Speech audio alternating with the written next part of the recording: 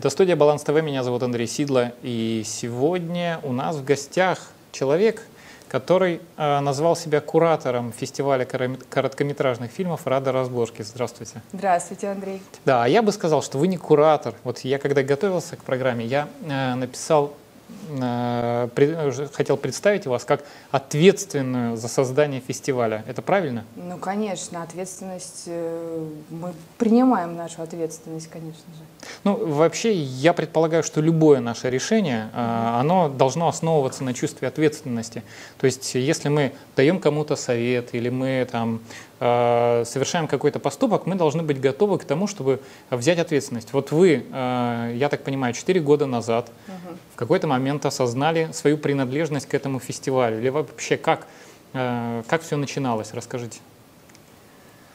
Ну, все начиналось на самом деле с моего рождения, потому что, мне кажется, каждый человек приходит с какой-то определенной задачей. Вот вы, например, Андрей, наверное, когда родились, Наверняка вам нравилось там, задавать людям вопросы, вести какие-то там дискуссии. Наверняка что-то такое проклевывалось даже вас в маленьком. Вот мне тогда всегда с детства было интересно что-то организовывать, народ как-то вот собирать, быть предводителем, куда-то всех вот вести за собой вперед. И поэтому, естественно, фестиваль — это далеко не первый мой проект — я практически там с детства что-то всегда организовывала, и вот э, ситуация дозрела до того, что пришло время организовать фестиваль. Э, мы как-то вот долго... Почему именно фестиваль?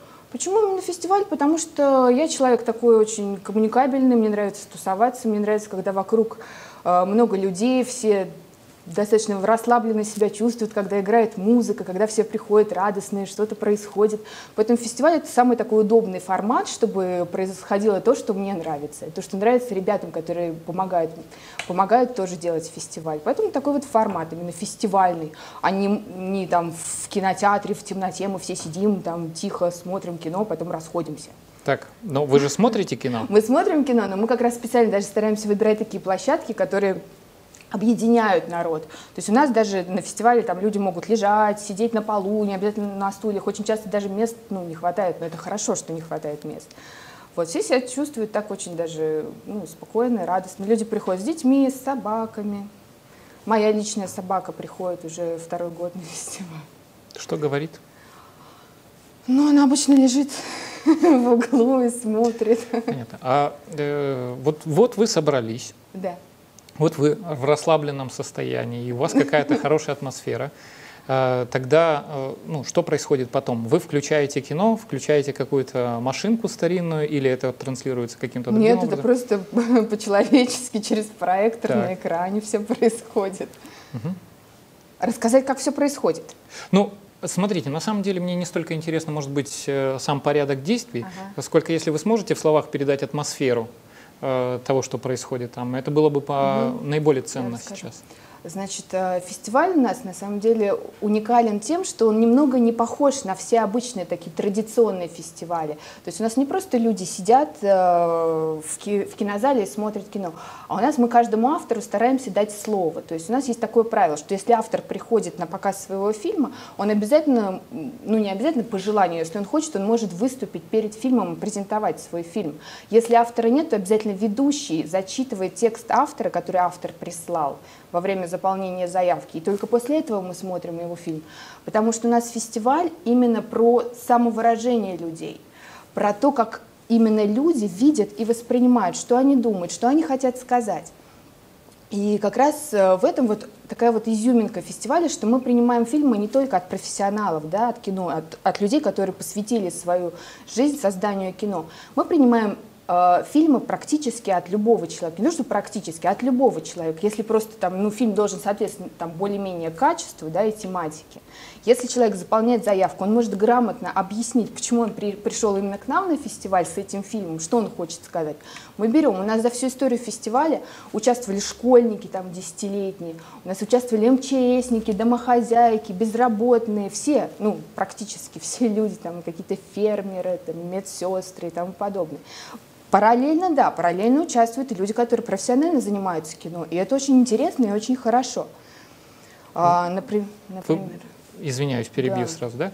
Э, вы сказали о том, что э, когда на вашем фестивале, у которого такое звучное название «Вижу Бога», э, человек представляет свой фильм, он выступает в начале.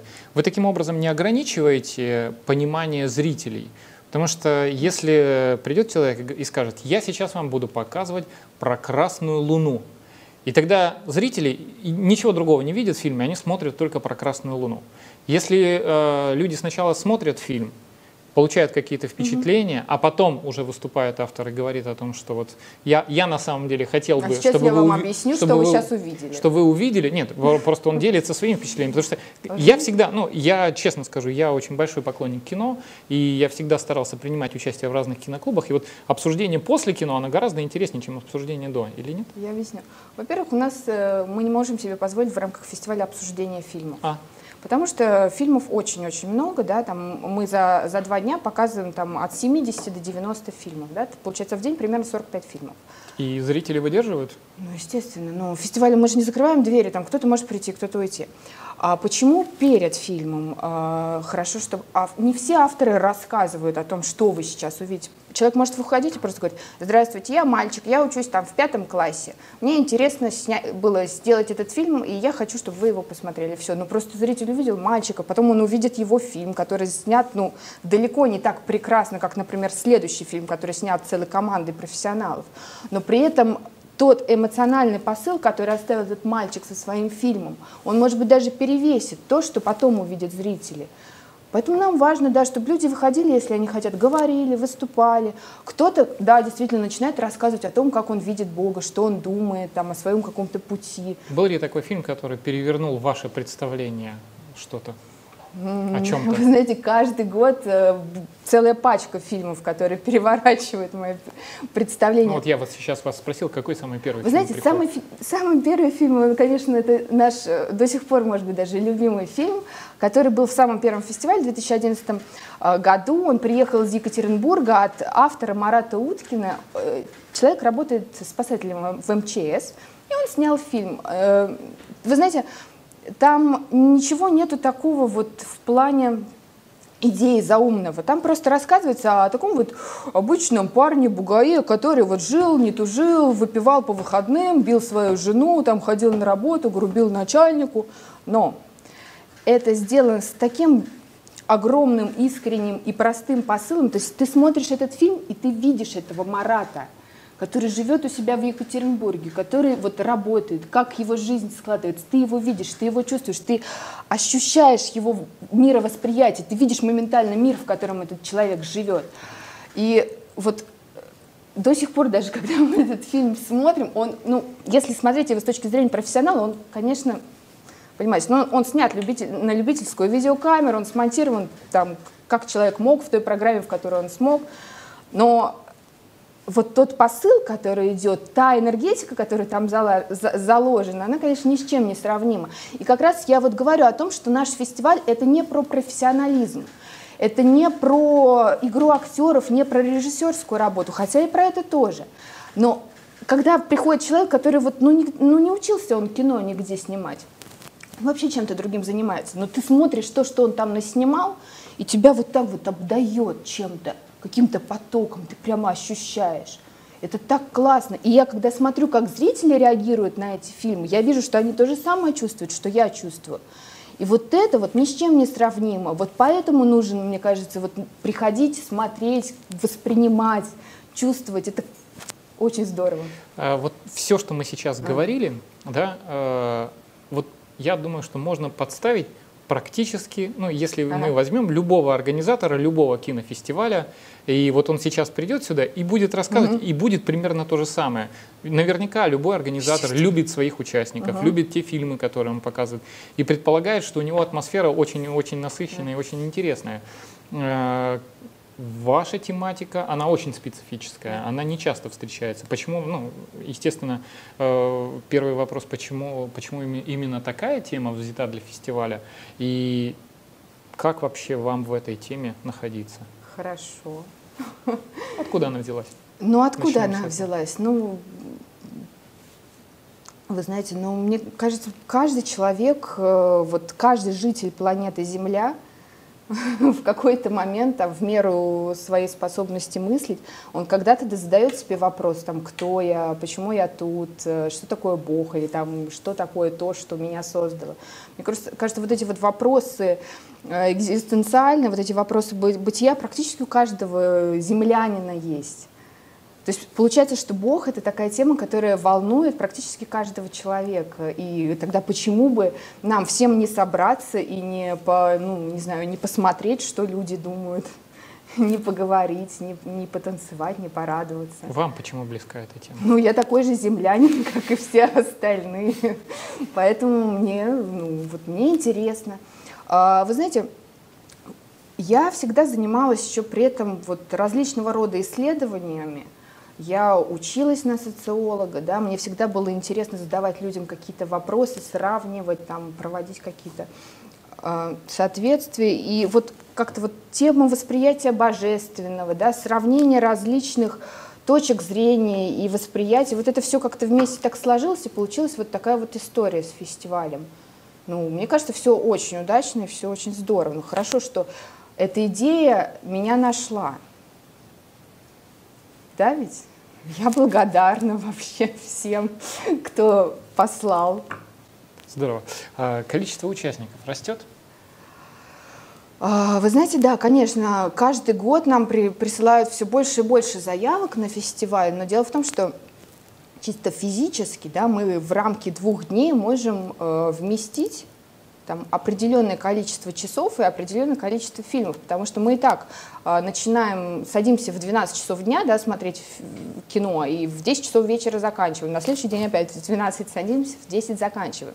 Ну, мы, конечно, можем и на неделю закрываться в зале и смотреть, но для этого, наверное, нужно делать какие-то выездные такие летние фестивали где-то за городом, но это немножко уже другой формат. Пока нас устраивает вот такой вот городской формат, два дня в выходные, когда люди свободно могут в любое время прийти, начиная с 12 часов дня, прийти, сесть, посмотреть какое-то количество фильмов, потом идти там погулять, отдохнуть, потом опять вернуться послушать музыку, потом опять посмотреть кино, потом вообще уйти, прийти на следующий день.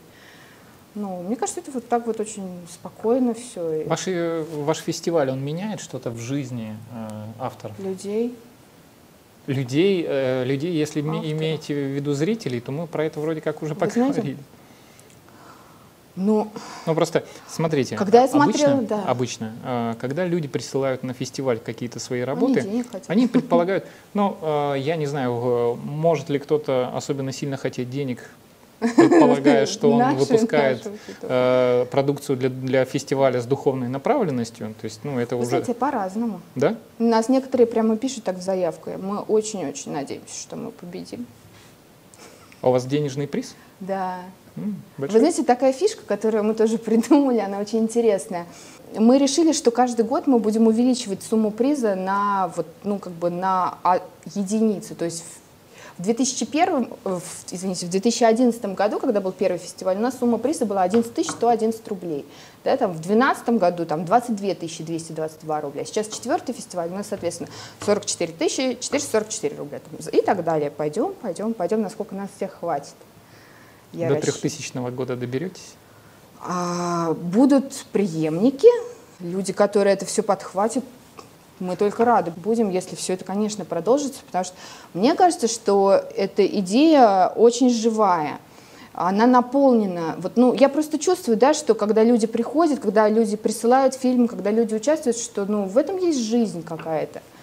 Это интересно, вы знаете, даже в этом интересно участвовать, это интересно смотреть.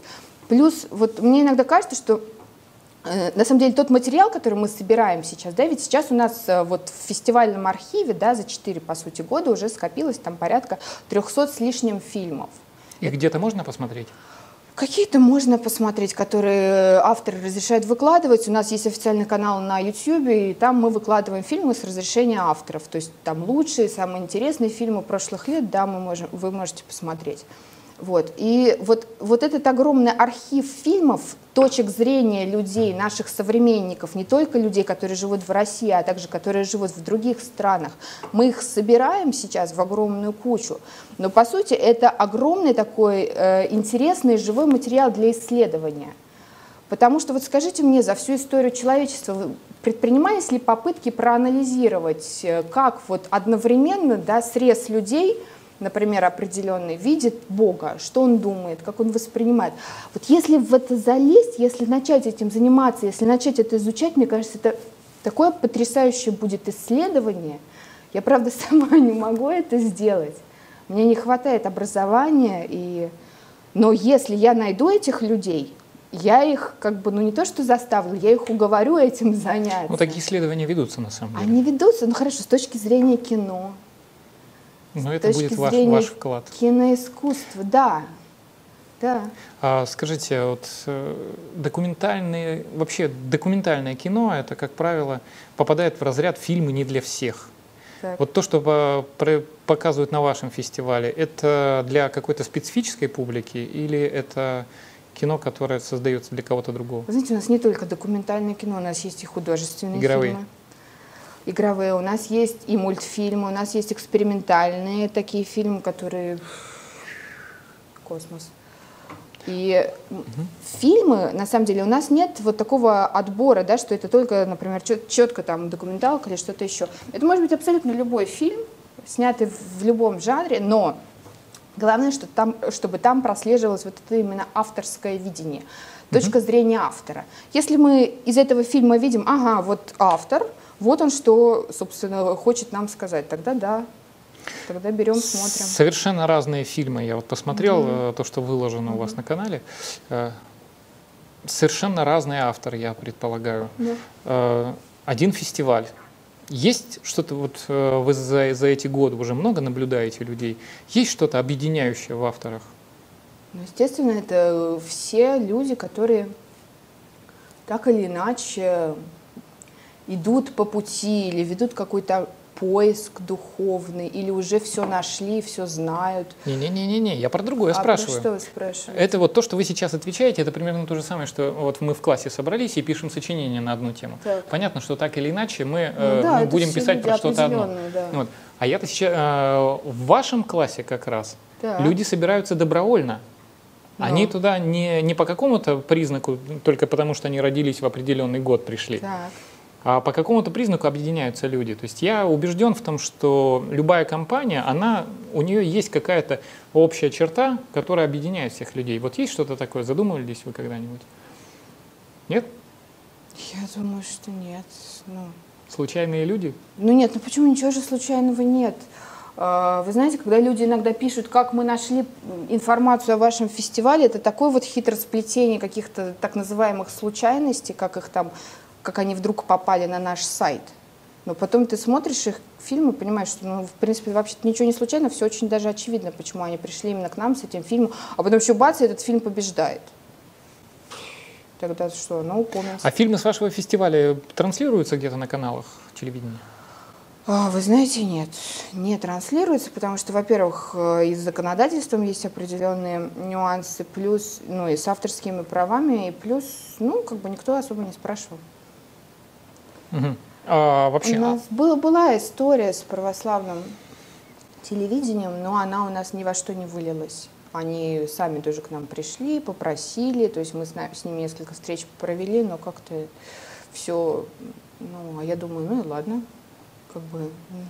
Я к тому, что если случается союз, это прекрасно, а если вдруг мы не сходимся по каким-то по каким-то, да, там аспектам, то не надо, ну, я не люблю форсировать как-то специально вот это все, выдавливать.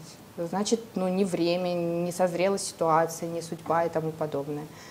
Вот. То есть у вас нет такого, такой задачи донести до широкого зрителя произведения ваших да, у нас, вы знаете, кто хочет, так и так, и так находит информацию. Мы же как раз выкладываем фильмы в интернет как раз для того, чтобы э, широкий зритель мог увидеть, чтобы люди на нашем канале увидели те фильмы, которые, если они не могут приехать физически на фестиваль, они потом в течение года могут посмотреть, что у нас было интересного, э, вот порадоваться или там подумать, поразмышлять.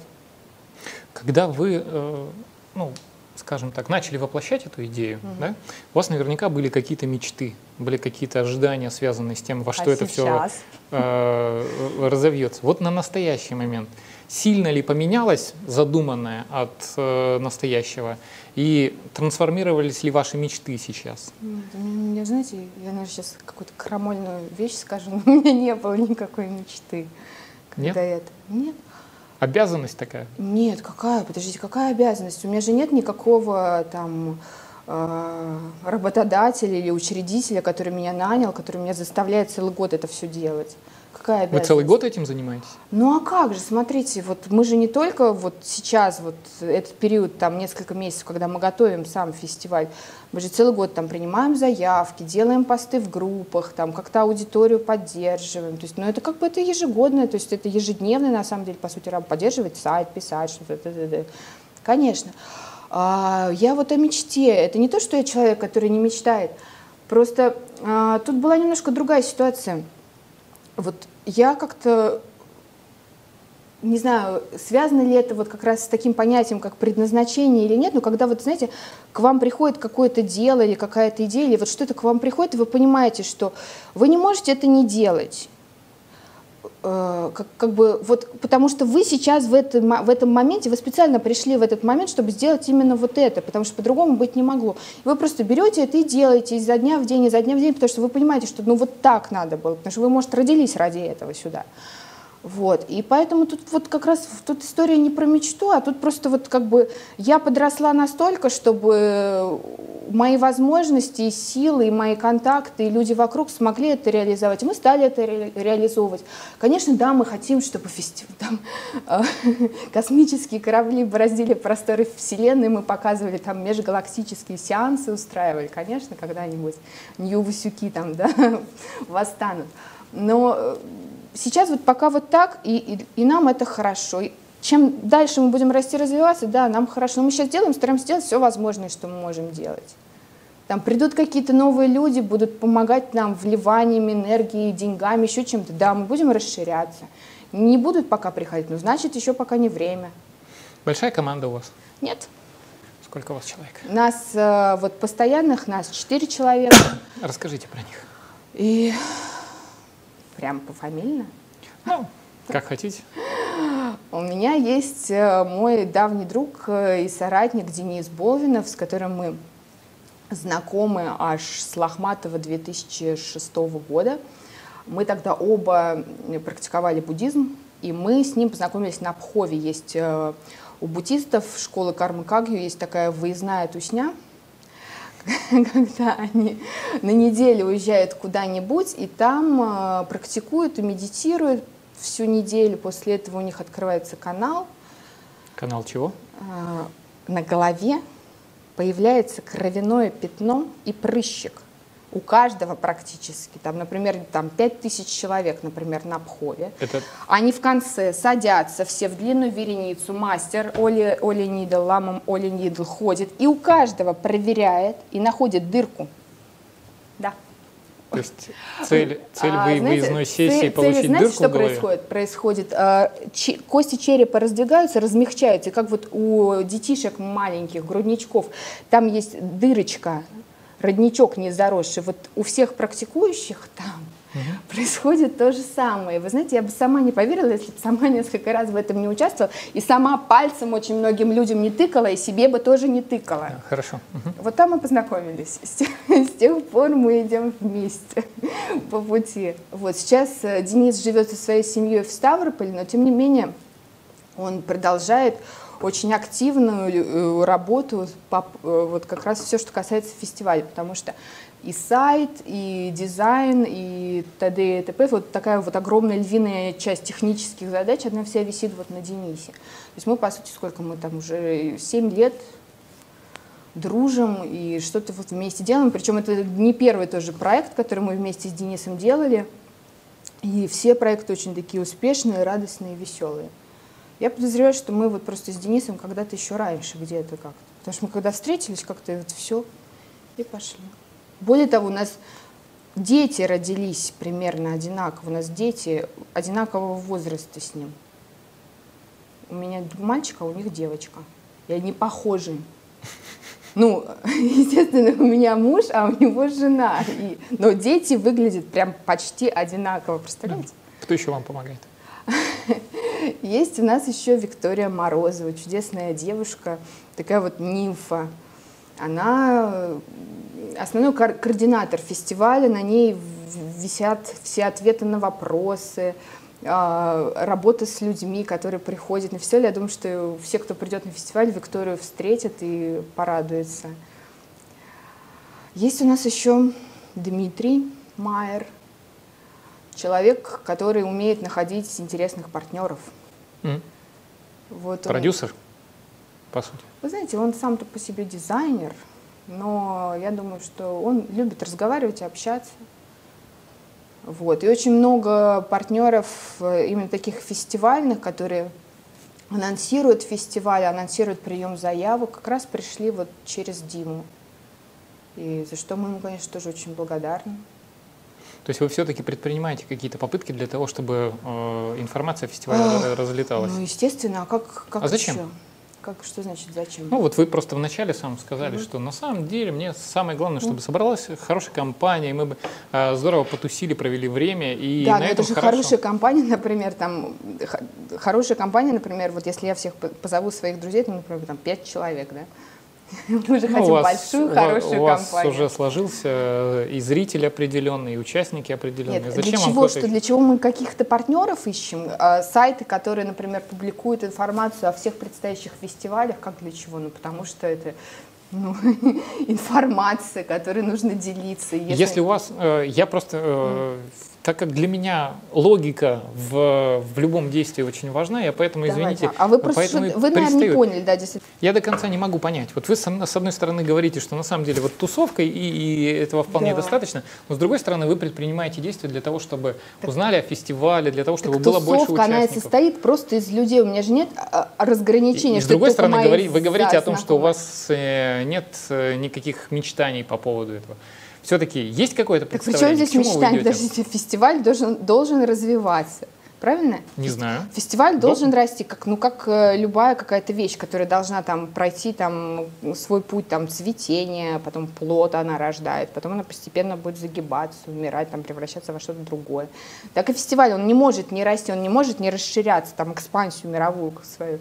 Конечно, это естественный процесс, который вот живой организм, фестиваль, да, его он растет. Почему? Почему нет? В чем здесь нет логики? Я не понимаю. Нет, нет, нет. Я просто, Все очень, по-моему, логично я с точки зрения том, мироздания. Я понял, хорошо. То есть вы по, по законам мироздания все развиваете? Конечно. А что, угу. как-то по-другому здесь все развивается? Не знаю, не знаю. Если, нет, есть люди, которые говорят, вы что... Вы же по мирозданию развиваетесь? Не знаю. Вы лично, не как уверен, организм? Не уверен. Как это вы не уверены? Вы в этом мире живете или вот, нет? Э, я предполагаю, что потому что я живу в этом мире, я, видимо, где-то очень здорово накосячил? Но это уже нюансы. вам нужно с кем-то конкретно разговаривать. Я вам такое не отвечу, поскольку у меня нет возможности видеть конкретные вещи. Но я думаю, что раз уж мы в любом случае все здесь собрались в какой-то момент, то значит нам в этот момент нужно жить по законам этой планеты, этого мира. И мы не можем здесь жить не по законам этого мироздания как-то по-другому, иначе мы не будем в этой системе. Кого не возьмете на свой фестиваль?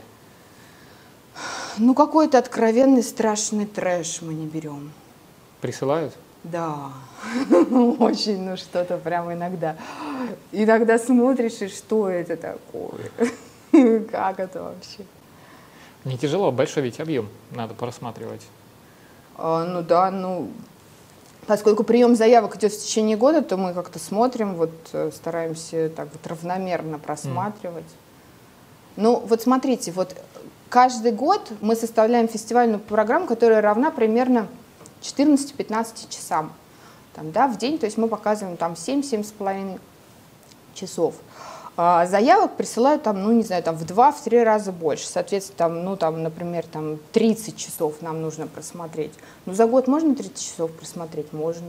Конечно, большинство заявок сравни... сваливаются вот прям вот в день дедлайна, да, того, вот у нас там такого числа дедлайн, и, например, там 50% фильмов приходит, и у нас, например, есть там пара недель, чтобы это все посмотреть, ну, посмотрим. У нас же фильмы-то короткометражные, это же сразу уже облегчает задачу, вот, потому что некоторые фильмы по две минуты, ну, то есть у нас максимум полчаса, да, там 30 минут, поэтому вот в этом как раз вся прелесть, потому что я тоже люблю, знаете, не люблю, когда долго, мне нужно, чтобы прям быстро, быстро и все понятно. Вот смотришь, мои любимые фильмы это до пяти минут, вот когда, потому что все самое главное, это все же сразу видно, понятно. Не обязательно долго рассказывать полчаса, да, что было так, потом так, и где-то там ближе к концу мы главную идею там. Хорошо. Мне кажется, за пять минут все очень хорошо можно, даже за две минуты можно. Опа, и все. И все сидишь, понимаешь, обтекаешь. Не знаю, обычно вот так как мы находимся с вами сейчас в обсуждении неких духовных э, достижений человечества, да, то есть и любой человек, ну, который создает фильмы на тему, связанную с Богом, наверное, э, рассматривает это как некую медитацию. Медитации за две минуты редко когда удаются. Да, у нас даже есть фильмы такие медитативные специальные. У нас, знаете, в 2012 году был очень интересный фильм, назывался «Медитация на форму Саи-Бабы». Он длился 30 минут. Там реально просто вот сидит мастер, да, ну и под музыку он сидит. И все. Мы его включили, этот фильм, в 2012 году. Где-то к середине фильма мы смотрим на зал, половина народу спит. Но причем спит так, вы знаете, в таком, в легком, в легкой такой медитации спит. То есть не то, что от усталости или еще от чего-то. То есть на всех, всех очень даже так вот подействовал. Хорошо. Было. Есть какие-то правила, которые, которым должны придерживаться участники? Ну, прежде чем кто-то... Я для чего это mm. сейчас спрашиваю? Если вдруг кто-то из наших зрителей сейчас э, вдохновится нашим разговором и скажет, я хочу в следующий год участвовать, э, какие правила вы э, транслируете для mm. участников? У нас есть написано прям вот на сайте, прям официально написано там, в фильме должно быть выражена авторская точка зрения а что это такое, как она может быть выражена, посредством чего, мы это не пишем. Это уже на усмотрение автора. Если мы смотрим фильм, и мы видим, что он выразил чего-то там, там, пусть свою точку зрения или не свою точку зрения, чью-то там, да, или, ну, неважно. И если мы видим, что фильм как бы живой, он действительно несет какой-то посыл, да, мы его берем. И, например, пусть, да, в этом фильме там все там 20 минут, например, показывает какая-нибудь там гора стоит. Просто. И все, гора. Ну, то есть как, таковых, как таковых правил нет. Авторская ну, точка зрения. Ну, правил является... тоже какое-то, видимо, тоже какое-то правило. Нет, ну мы же тоже какие-то живые люди, мы тоже можем что-то там иногда увидеть или различить, если мы смотрим и видим, что да, да, классно, здорово, и на фестивале будет хорошо выглядеть, и людям понравится, да, почему, почему бы не взять? Если мы видим, что человек ну, просто что-то такое там... Очень много, знаете, присылают... Вот нам нравится, когда снимают специально вот для фестиваля, вот действительно. А бывают люди, которые просто вот что-то там сняли, и потом на все фестивали отправили, какие можно было. Там, вдруг возьмут. Вот, ну, такие вот не очень что если, конечно, он что-то там снял по, по теме, да, и на все фестивали отправил, ну, конечно, да. А если вот он просто вот разослал, там, например, там, не знаю, своя дипломная работа, вот он что-то там наснимал, ну, не знаю. Когда вы производите отбор э, фильмов для, для фестиваля, вот, ну и вообще, в принципе, когда э, сталкиваешься с чьим-то творчеством, mm-hmm. не своим, а чьим-то чужим, всегда, ну, по крайней мере, про себя могу сказать, э, очень часто включается некое такое критическое настроение. И вот подметить какие-то ошибочки там или еще mm. что-то такое. Как вам удается, ну, учитывая то, что ваш фестиваль развивается, он не развалился, количество участников растет, это говорит о том, что mm. вы а, можете как-то более-менее объективно подойти к отбору и не обидеть никого, потому что я так понимаю, что вы берете а, там треть, наверное, из того, что вам присылают. Да, я бы сказала, что половину даже. Ну да, треть. Вы знаете, а, Какие ошибочки? Мы же не, вот как раз еще раз повторю, что мы не с профессиональной точки зрения оцениваем а, все фильмы, когда мы их берем. Более того, даже когда у нас на, мы не, не сделали никакого жюри на фестивале, хотя мне несколько раз предлагали, а давайте сделаем жюри. Я говорю, а какое жюри? А что они будут оценивать? Что? Как там смонтировано хорошо или какая работа режиссерская классная? А если вот у нас там, не знаю, группа школьников это все снимала, то что они будут оценивать? Ну, например, эти ребята наснимали такой искренний, красивый ролик, от которого просто мурашки по коже бегут. И как вот это судить? Кто это будет судить? Поэтому у нас на фестивале вот исключительно зрительское голосование. То есть люди приходят, получают бюллетеньки такие, и могут э, в тот момент, когда они покидают фестиваль, да, они в любой момент могут уйти, они просто голосуют за один единственный фильм. И мы в последний день это все считаем быстренько. И у нас что-то выходит.